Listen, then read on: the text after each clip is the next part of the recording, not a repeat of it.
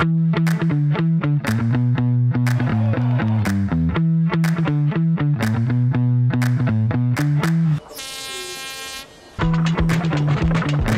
Atlantic rematch. An American reshuffle. Shouting.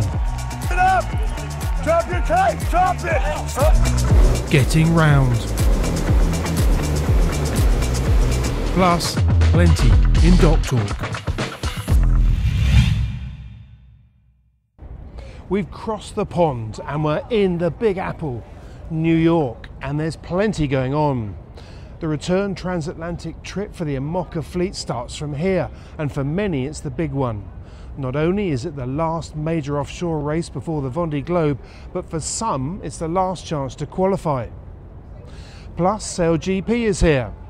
And while this event and the America's Cup are quite separate, there's no getting away from the fact that for many of the crews, this is another valuable opportunity to get match fit at high speed on foils. But first, the New York Vendée, the return trip from New York back to Les Sables d'Olonne. The trip out to the States had proved very revealing. It wasn't what most of the crews had expected, and on the way home, there was more drama to come. New York, dazzling and vertiginous. City of extremes, cradle of the American dream. In the city that never sleeps, in the shadow of Manhattan's skyscrapers, this is where the final qualifying race for the Vendée Globe will start. The punchy conditions in the race from Lorient in France to New York had seen the IMOCA leaderboard rearranged. Several of the big guns were either absent or had suffered gear problems along the way. Some were now starting to feel the pressure, especially those that still needed to qualify for this year's non stop single handed race around the world, the Vendée Globe. But for all, the race back from New York to Les Sables d'Olonne was also a chance to test their boats and equipment while lining up against their competitors. Based on experience and previous form, four top dogs stood out. Thomas Ruyant on Vulnerable, Yoann Richomme on Paprec Arkea, who'd won the leg to New York, Charlie Dalin on MACIF Santé Prévoyance, and Jeremy Beyou aboard Charal. Their comments before the start of the race, alongside those who've been able to push hard on the way out, said much about the state of their campaigns and where their focus lay as the clock counted down. Le niveau de préparation de l'ensemble de la flotte, ça va être, ça va être intéressant. Une carence sans casser, donc c'est aussi un bon test pour les équipes techniques, euh, pour éprouver les bateaux, et puis pour les marins, tenir dans la durée. Après, ça reste des, des courses maintenant, les transats assez courtes, on va mettre entre 9 et, et 11 jours, donc euh, finalement c'est assez rapide.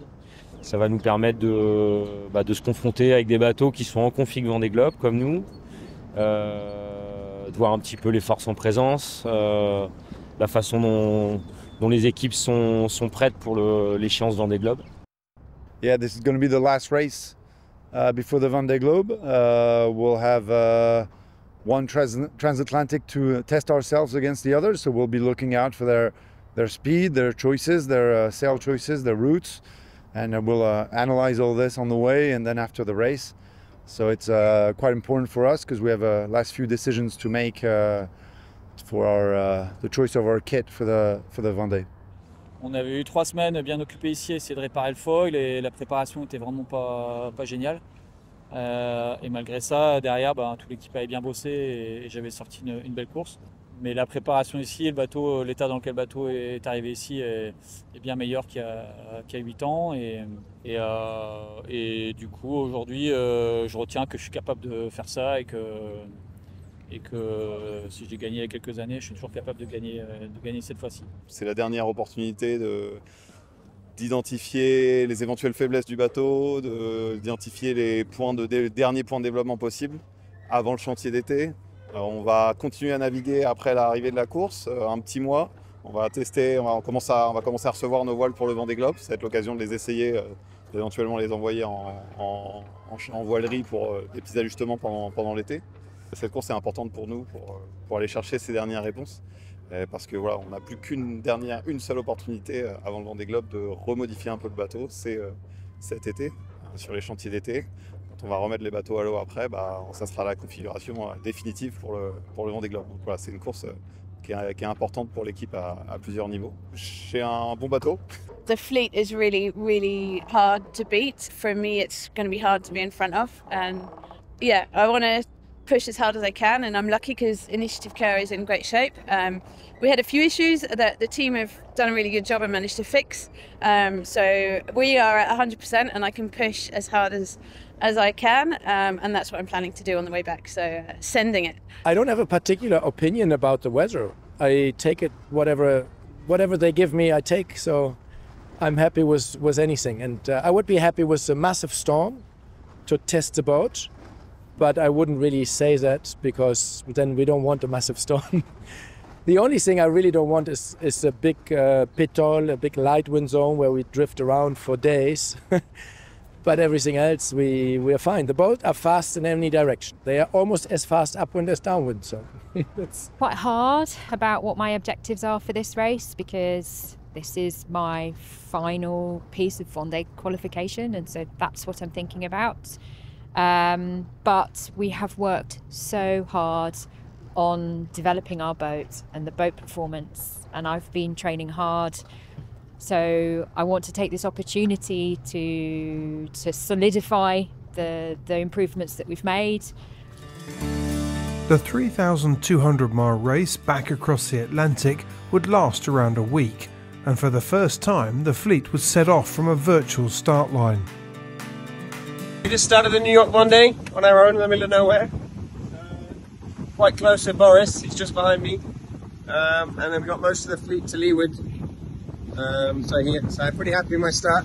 Um, uh, to windward, which is where I wanted to be, with the most of the fleet to leeward. So we got PMB and, and Toto up front. Um, and yes, I'm pretty happy with this. What a picture, look at that. My main worry is now to hit some fishing gear. They were like um, with, with ropes attached and fishing equipment. After a stormy first night, the two Sams, Davies and Goodchild, had broken free from the fleet. What a wild night. We're now flapping around um, with no wind and waves. Very exciting. Uh, last night we had 35 knots um, with too much sail up. So a little bit of everything. Uh, not very stable. Um, but it's going all right, I guess.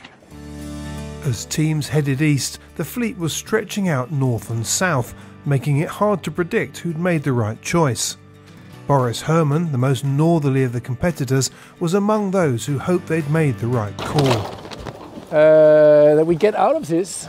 Um, such a fascinating phenomena, the Gulf Stream.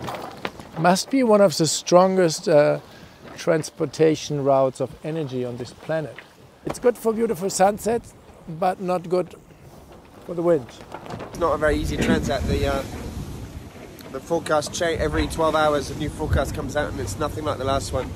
And then uh, you look at a forecast, and it's not exactly what you've got outside. So uh, uh, trying to choose what to do, which sails to make, and how to go is uh, is a bit of witchcraft. Boris Herrmann and Charlie Dalin were the furthest to the north and leading as the boats to the south were closing in.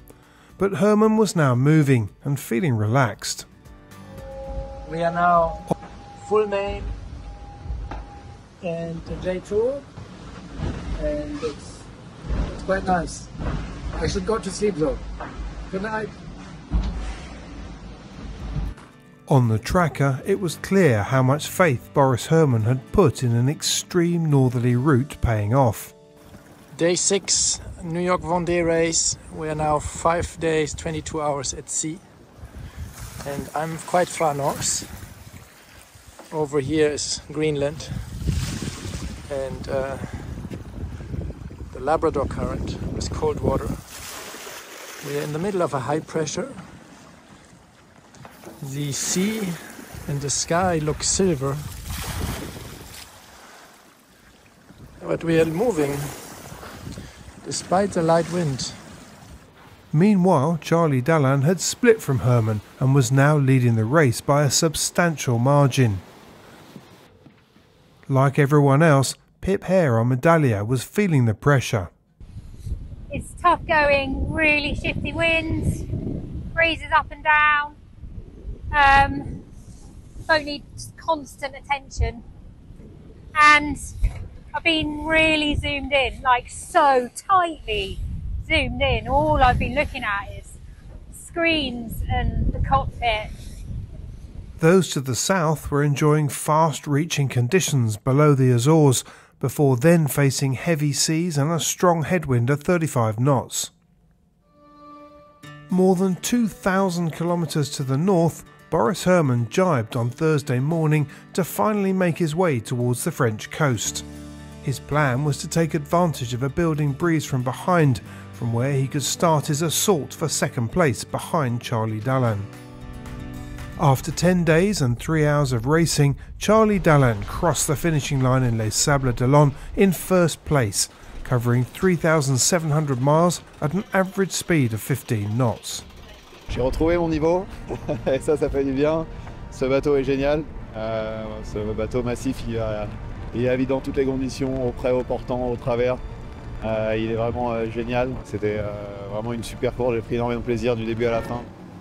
17 hours later, Boris Herrmann's big gamble to the north had paid off as he crossed the line in second place, just as he had in the leg to New York. This was clearly a big boost for Herrmann and his team. It's been no secret that his boat, Malizia Sea Explorer, is one of the heaviest in the fleet, leaving some to question whether it can deliver against lighter, potentially faster machines. Two second places in two ocean races that both included a wide variety of conditions appears to have answered the critics. C'est spectaculaire le nombre des gens qui viennent ici. Euh, bon, c'est une dimanche après-midi, mais c'est quand même super. Euh, L'enthousiasme pour la voile. Donc, merci aux gens ici euh, de de, de, venir voir, fêter ce sport. Ça existe que au Sable d'Olonne. Next across the line was Jeremy Bayou. who'd held on to third place in a tight battle with Sebastian Simon and Thomas Royal. Meanwhile, back out on the racecourse, others were celebrating too. Happy Monday! I found some wins! Yes! Yes, this is like breathing out. This is what we're supposed to be doing. But disaster had struck for Sam Goodchild. J'imagine que vous avez vu qu'on a démâté, on sait pas trop pourquoi encore. Euh, on fait chaque, chaque chose en son temps. Et là, euh, l'équipe technique travaille sur des solutions à terre pour, pour les, les, les options logistiques. Et moi, je travaille sur carrément de fortune pour avancer un peu plus que, que de nœuds. The other Sam, Sam Davies, had finished sixth. And while she was pleased with this result, the race had also been a success in other ways. I'm really happy with the result as well because I managed to kind of uh, overtake a few boats in the last over the last week and uh, sail with some really good um, really good skippers like Johan and Justine um, for days on end so in having them in visual sight the whole time and um, it's really good to to learn how to trim the boat and to push the boat when there's other people right next to you so uh, yeah, it was a great race, and uh, um, and I was happy as well to be able to hang on to Johan uh, right up to the finish. And uh, I'm not sure. I think I guess he probably had a little problem, and so I was close enough to take the opportunity when it arrived and and sneak past him before the finish. So uh, really happy to get sixth. As each skipper crossed the line, it became clear that this had been an unusual and extremely tactical race. This was a, a, longer race than we expected. Uh, we were going, we, we, thought we were going for nine days, and it took us 12. So um, we had a big uh, weather change in the middle of the course where we thought we were going to get ahead of a front, and we didn't. And so we ended up in a very uh, different um, scenario, and uh, that was tough on the on the mind to uh, get ourselves back into a, a, new race, a different race, and. Um, although you know that was very interesting. It's very unusual for us, and uh, it's all you know very good preparation for the Vendée Globe in six months. The New York Vendée had been a challenge, but it had also provided the final list of 40 skippers for the Vendée Globe. Starting from Les Sables d'Olonne on the 10th of November, in France there is no bigger race.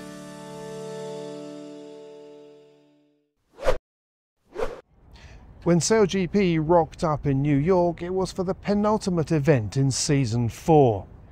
The Kiwis were getting quite close to the top, but there'd also been a bit of a reshuffle over the previous events. New York was to shuffle it even further.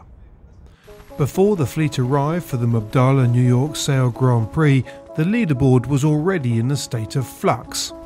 The usually dominant Australians had seen the Kiwis pass them in the overall standings after a difficult run of events for Slingsby and his crew. The Kiwis had notched up four wins this season and were on a roll. But conditions in the Big Apple were to prove challenging as the breeze danced around the foiling threshold, making life hard for anyone who splashed down during racing. Well, and it was just then punished for mistakes. We see here the United States, they fall off the foils, error in that manoeuvre, and one mistake can turn a good performance into a bad performance. The opening race saw the British, led by Giles Scott, build on an impressive performance in Halifax by taking the first win in New York. The Swiss, led by Nathan Outridge, won the second race, and the Canadians, with Phil Robertson at the helm, took third. Evidence, if any was needed, that it was difficult to stay at the top. The fourth and final fleet race was won by Tom Slingsby's Australian team, but it wasn't enough to get the SailGP Rockstars into the final. Instead, the top three that made it through were New Zealand, Canada, and Emirates GBR. And even though the previously dominant Australians hadn't made it through to the final, Slingsby knew that things could have been worse. Oh, I mean, somehow the points worked out pretty well for us, considering everything that was happening. Like we heading into that final fleet race, I think we were almost going to get knocked out of the the top three. Even it was we were probably back in eighth place or something, and to win that last race, jump four places, and then a couple of our close rivals didn't have a good race. It, it, all worked out well for us. We got a bit lucky out of this event. I kind of feel like we're sort of getting out of here with a, a good result when we might not have deserved it. And yeah, we just got to move on. And yeah, San Francisco will be interesting. An okay result. So um, yeah, pretty frustrating day, but um, plenty of potential being unlocked at the moment. So looking forward to the next one.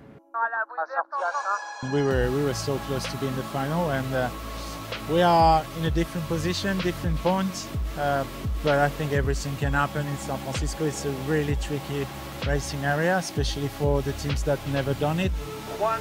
But in the meantime, the New York final was the focus.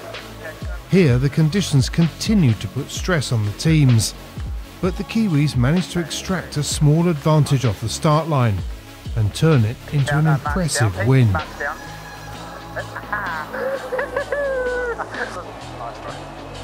be honest, we're, we're not just going to the final to, to be there. We, we wanted to go there to win it. So, you know, this weekend was our, our last chance to compete in the final before San Fran and to, to put on a performance like we did. And it's something that you know, we're really proud of as a team and to you know carry that momentum into San Fran now is something we're really excited about. Obviously, a bit too far, sorry, mate. Yeah, the final's a tricky one. There's three boats, it's slightly different, and that race you had to win the pin. And I was in a position to attack the Kiwis, and I actually decided not to, which is probably slightly out of character, and thought we could have a crack at pushing over them. And probably made a slight error just off the line, but look, it's um, yeah, there's, there's not much in it, and the start was very important in that final.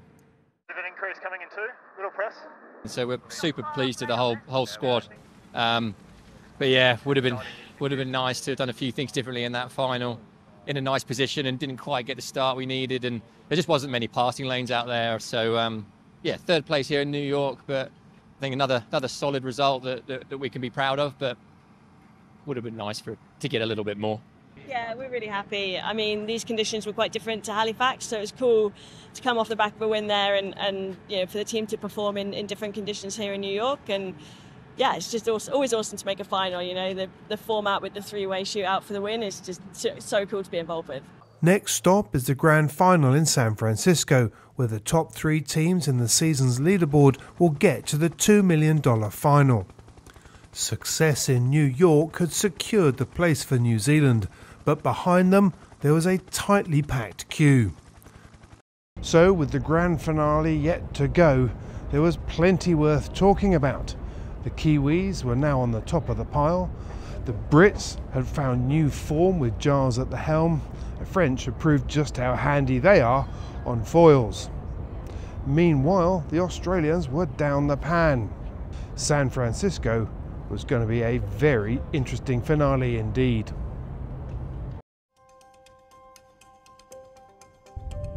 At the beginning of the year, X Yachts announced a new project that would take them back into the territory that made their name 40 years ago racing. And they haven't held back their ambition either. Their goal to create the most competitive 40 foot handicap racer on the market, the XR41. Aimed at ORC racing, X Yachts had pulled together a team of outside experts who specialise in computational fluid dynamics, ratings analysis, and the ORC rules to work alongside its own designers. They've also drawn on the experience of professional sailors like Bouwe Bekking and Jesper Radich, as well as working with Surge projects on the deck layout and interior. From specific design studies such as the effect of fore and aft overhangs, the position of maximum draft, and the fullness of the hull, using advanced design techniques, the team has studied the performance and rating implications in minute detail. Due for launch next year, the main focus for the XR41 will be the ORC World Championships in August. 2024 has been a full on season already for Henry Lloyd. As well as investing heavily in new products and a raft of new initiatives, the company has been developing internally too. The most recent appointment is two time international Moth World Champion Simon Payne, who joins the company in a new role as Chief Commercial Officer. Working closely with Executive Chairman Knut Frostad, the appointment underlines the company's clear ambition to remain close to the heart of the sport to create the best kit possible. And when you see some of their latest products, it's easy to see how they're achieving this. From their highly breathable and waterproof Dry Pro fabric to slide guide treatments on the inside faces, along with some impressive detailing throughout, the new ranges have represented one of the biggest step changes for the company in its long history. And on top of this, they've been busy supplying Ineos Britannia with their kit, as well as launching a new flagship store in the centre of Oslo as well. It may be a tiny island 35 miles off Germany's northwest coast, but Heligoland drew in a big crowd for this year's North Sea Week. The 89th edition of the event drew in 130 boats and 1,000 sailors, arriving on the island for 15 races, including one of the toughest offshore races in Europe, the 510 mile Pantaenius Round Skagen race. First held in 1932, North Sea Week attracts a wide variety of experience and abilities among the competing crews. The range of conditions is equally varied, making the allure of setting a new record for the biennial round Skagen race as enticing as it is challenging. Despite having all the right credentials, the Elliott 52 Raphael took line honours but missed setting a record by just under four hours. So while this year's benign conditions will no doubt convince many more to return, the weather didn't provide the record breaking headlines. But that's not something that will worry most of the thousand sailors that took part this year. Most of us take wetsuits for granted, but Zhik have made an interesting new step forward in the development of a new generation of technical clothing. Their new X range of wetsuits are made from natural Yulex rubber instead of neoprene, which is toxic to produce and hard to recycle. Zhik are particularly excited about the new products as they say that there's no compromise to the performance of their wetsuits, which are available for a much wider range of body types and sizes. In particular, for the first time, there are more female sizing options than there are for men. On the technical front, Zhik say that the integration of graphene infused fabrics can return up to 20% more body heat as well as drying more quickly. Climbing into a cold, soggy wetsuit on the second day could be a thing of the past. I'm sold already. With all the noise and excitement that's been surrounding the build up to the America's Cup, it's easy to forget that this is a match racing event. Some of you have been quite vocal on this, and for good reason.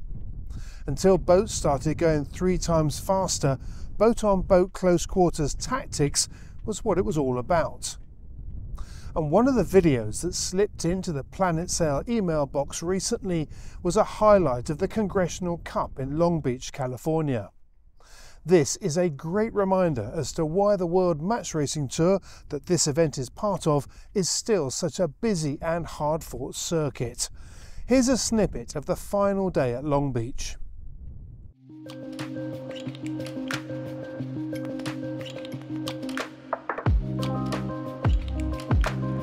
For 59 years, the Congressional Cup has defined modern match racing, and after four days racing, only four teams remain.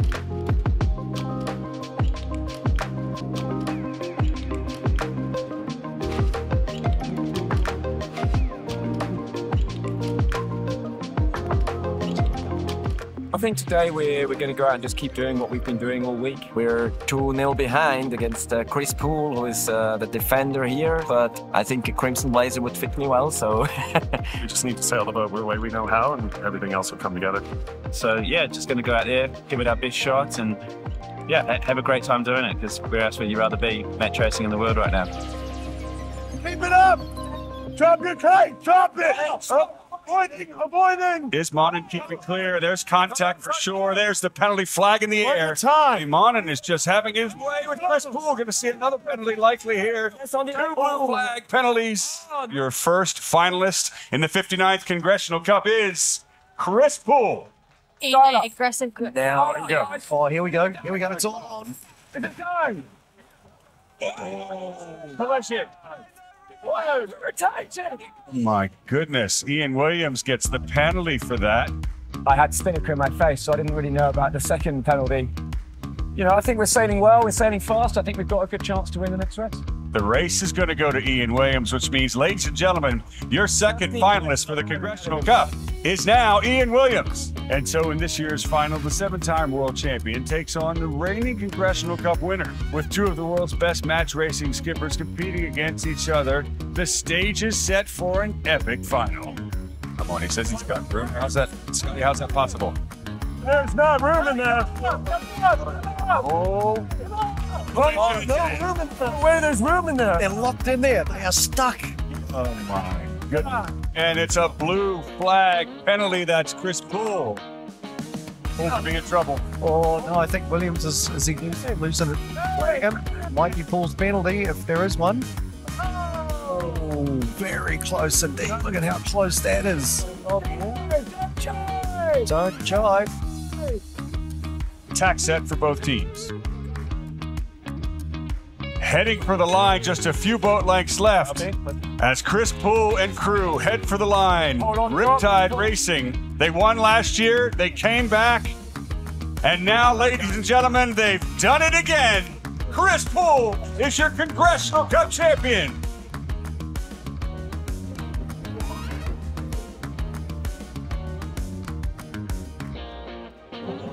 Uh, it's an incredible feeling. Uh, it wouldn't have been possible without my amazing team of Harry West, uh, Luke Payne, Mal Parker, Bernardo Freitas, Jakob Aschenbrenner. Those guys absolutely crushed it.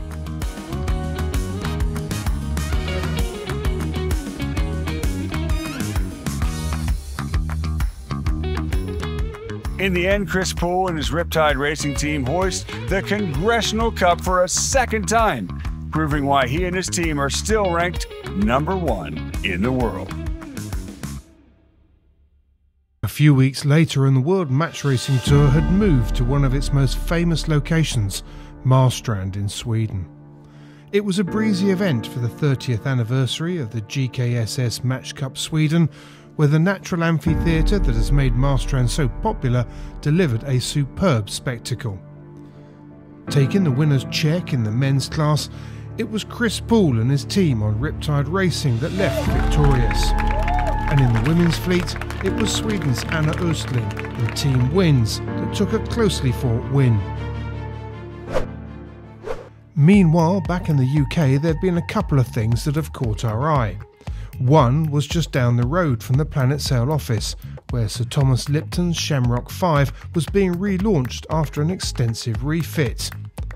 She may have been the smallest of the Jays and the only one to be built in wood, but she's a gorgeous boat. Sadly, she disappeared off the circuit a few years ago after a collision, but now she's back, and the chat is she may well be in Barcelona this summer for the J Class regatta. I certainly hope so. Another piece of news is from Spirit Yachts, who've just announced details of a Q class. Often referred to as the Mini J Class, this was adopted by the New York Yacht Club in 1903 to determine entry criteria for the America's Cup. Designed by Dykstra Naval Architects, Spirit Yachts have been commissioned to build a modern version of the Q Class, which is expected to be launched in 2026. A punchy weather forecast for this year's Round the Island race led the organisers to take the difficult decision to cancel racing for the smaller yachts and multi hulls. And while conditions were benign for the early morning start from Cowes, by the time the fleet arrived at the Needles, it was clear that the ebb tide pressing up against a strong westerly breeze was creating a big sea state. By St Catherine's Point, at the southern end of the island, conditions were tough for even the big boats in the fleet. First to finish was Irvine Laidlaw's multi-hull Highland Fling 18, completing the course in 3 hours and 39 minutes. First monohull to finish was Peter Morton and his crew on the TP52 Notorious, who also won the coveted Gold Roman Bowl for the overall win on handicap. This was the second time Morton had won the trophy. The sort of a classic round the island. There's either plenty of wind or no wind, isn't there? And uh, it was one of those days where there's plenty of wind.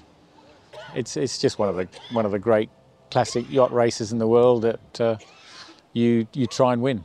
So, uh, and it's 40 years ago since I won it with a little 25 foot boat. So it's uh, it was special for me today to be exactly 40 years since I won it in a little boat called Odd Job.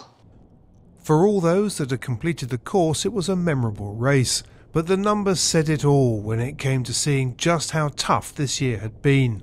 From an entry list of around a thousand, there were just 154 finishers. Once again, and as always, thank you so much for watching. Make sure you subscribe to us, it's free and it makes a big difference as to what we can do on the channel. Hit the notification bell to stay up to date with new content. We're also on Facebook, Instagram, and of course our website. And if you'd like to advertise, we'd love to hear from you. We've got plenty going on this season, and our viewing figures are right up there and continuing to grow. So we know we can get you in front of the right audience. In the meantime, thanks once again from Times Square in New York. Stay safe, stay well. Till next time.